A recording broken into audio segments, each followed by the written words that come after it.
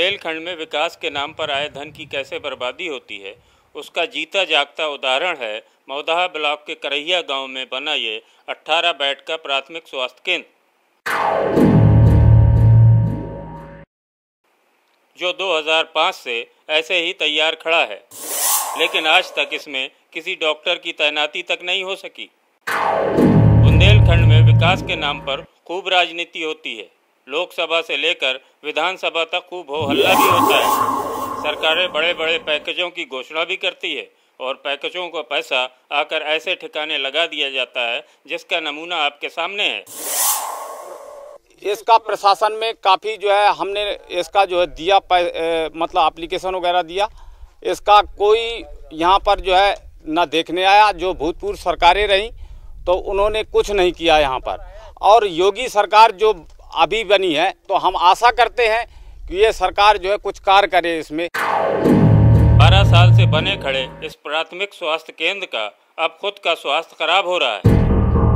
इसके खिड़की दरवाजे गायब हो चुके हैं पूरे अस्पताल का फर्श भी टूट चुका है बाउंड्री भी टूट कर गिर चुकी है। लेकिन यहाँ के लोगों को अभी भी उम्मीद है कि शायद ये चालू हो जाएगा। हमारे यहाँ दस साल पूर्व ये बना अस्पताल करोड़ों रुपए की लागत पशु अस्पताल और मानव अस्पताल, जिसमें 18 बेड की अस्पताल थी मानव की। आसपास के रीवन खंडे छिरका, छिमौली, तमाम 10-12 गाँव का लोग जो है यहाँ आ सकता है, नज़दीक है, मौदहा दूर पड़ता है। स्वास्थ्य केंद्र जो मौदहा है हमारे यहाँ का, वो दूर है और वहाँ जाने में समस्याएँ हैं। तो हम चाहते हैं कि अब जो है, योगी जी की सरकार आई है तो शायद हमको कोई डॉक्टर यहाँ नियुक्त कर दें। स्वास्थ्य प्रशासन। डॉक्टर बैठ सके इसके लिए यहाँ के लोगों ने कई बार जिला प्रशासन से गुहार लगाई। सुनवाई न होने पर सड़कों पर प्रदर्शन भी किया है। इस बिल्डिंग के खड़े खड़े सूबे में सापा और बासपा की सरकारें आईं और चली गईं। लेकिन अब स्थानीय लोगों को सूबे की योगी सरकार से आस लग गई है। उनको लगता है कि शायद अब कुछ हो सकेगा। दस साल पूर्व बनी सामुदायिक स्वास्थ्य केंद्र।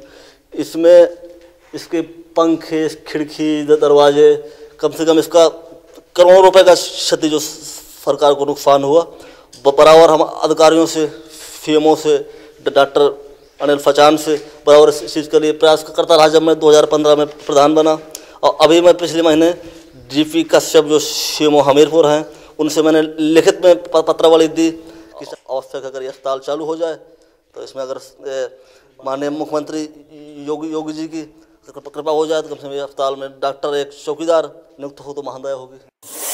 ये प्राथमिक स्वास्थ्य केंद्र चालू हो जाए तो करहिया के आसपास के इलाके के दर्जनों गाँव को फ़ायदा मिल सकेगा। इस बाबत हमीरपुर के जिलाधिकारी का कहना है कि डॉक्टरों की कमी है लेकिन यहाँ एक फार्मासिस्ट की तैनाती भी की गई है। बिल्डिंग बन के हैंडओवर भी हो चुकी है। दिक्कत हमारे यहाँ पर ये है कि जो हमारे रिक्वायर्ड डॉक्टर्स हैं हमारे लगभग 118 की रिक्वायरमेंट है और सिर्फ़ 36 डॉक्टर्स उपलब्ध हैं पूरे जनपद में। इस वजह से वहाँ डॉक्टर्स को हम नहीं लगा पाए जैसा कि सीएमओ साहब ने बताया कि वहाँ एक फार्मासिस्ट लगे हुए हैं। वो लगातार जाते हैं और वहाँ लोगों को सुविधा प्रोवाइड करने की कोशिश करते हैं। हमने शासन में भी और मुख्यमंत्री जी जब आए थे, तब भी उनसे भी डिमांड किया था कि हमें अतिरिक्त डॉक्टर प्रोवाइड किए जाए ताकि जितने इस तरह के हमारे सेंटर जो नए खुले हैं, जिनमें हम मैन पावर नहीं दे पा रहे हैं, उसको हम मैन पावर से जो है भर सकते जिला प्रशासन कहता है कि एक फार्मासिस्ट की तैनाती है तो साहब आप खुद आँख खोल के देख लीजिए कि वो फार्मासिस्ट इन टूटे खिड़की दरवाज़ों की बिल्डिंग में, जहाँ गंदगी का अंबार है,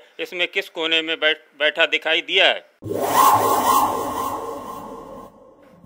वे कहते हैं, विकास भी हो गया और किसी को फ़ायदा भी नहीं मिला। हमीरपुर से Aditya Tripathi, news seventy five dot in.